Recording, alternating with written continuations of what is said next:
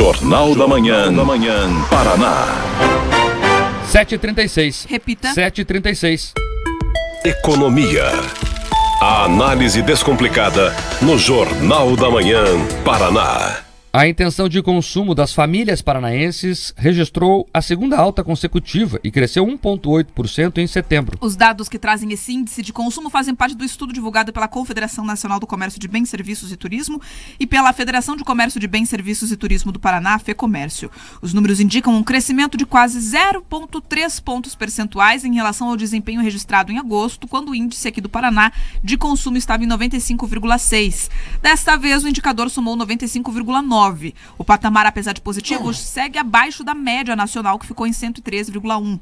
A variação abaixo dos 100 pontos indica insatisfação dos consumidores do Estado. Rodrigo Schmidt, que é coordenador de desenvolvimento empresarial da FEComércio do Paraná, comentou o resultado. Se destacaram nesse mês os subindicadores que medem a perspectiva de consumo e o de aquisição de bens duráveis ambos com crescimento de 1,8%.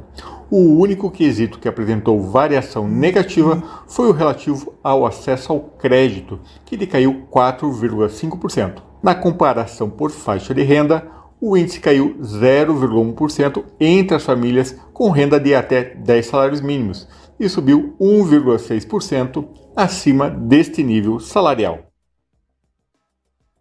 Ainda segundo essa pesquisa, é, a percepção sobre o emprego atual e a renda atual subiram levemente, um aumento de 0,7%.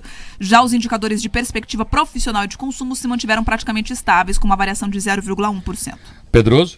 Esses dados, eles traduzem ou eles trazem para a prática da intenção de consumo um outro dado, que é principalmente conectado à geração de empregos. E por que, que eu falo isso? Nesse caso aqui, as famílias elas se mantêm com algum otimismo, com alguma perspectiva de compra, porque aqui no Paraná nós estamos em praticamente um índice de pleno emprego, nós temos um índice de 4,8% apenas de população desempregada. Nós temos acompanhado um ritmo de crescimento de renda ligado à atividade produtiva, diferente do cenário nacional que você tem um incremento de renda muito grande vindo de benefícios sociais.